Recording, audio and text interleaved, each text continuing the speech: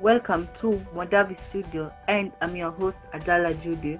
and Tony Ayo. We were privileged to attend an art expo at Maseno University yesterday. The first creative artist I met was Vic. He used cement to creatively coat shoes and balls that act as surface. He also used spray user to spray the items. The second creative artist I met was Mike.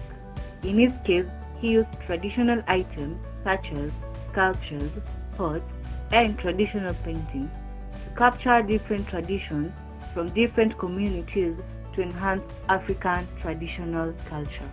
We had environmental conservatives such as Diana. She reused spoons and bottles to come up with candle holders and flowers.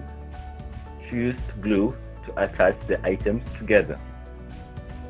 We also had an expo group that came up with floor decors such as bamboo top flooring, bottle top flooring, coin top flooring, seashells flooring, woodlog flooring, and sawdust carpet flooring.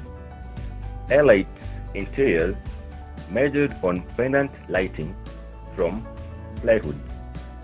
They made very magnificent pendants that were very attractive as you can see.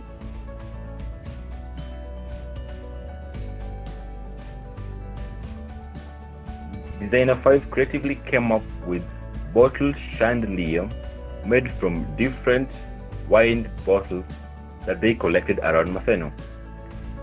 They also made pom-pom that acted as round flower vessels in a vase.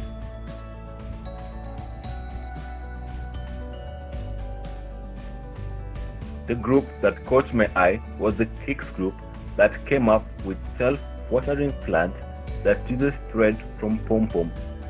He then wound the thread to the plant root to absorb water through capillary. He also made SPD geometry lamp which is very beautiful and was creatively done.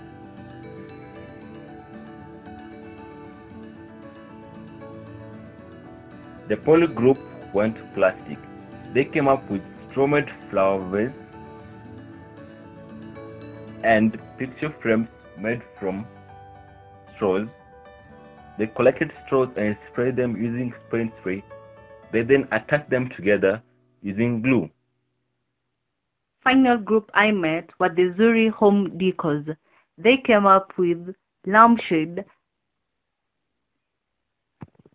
and wall decors made from thread, flour, water, and painting spray. The Art Expo, as you can see, wasn't a disappointment.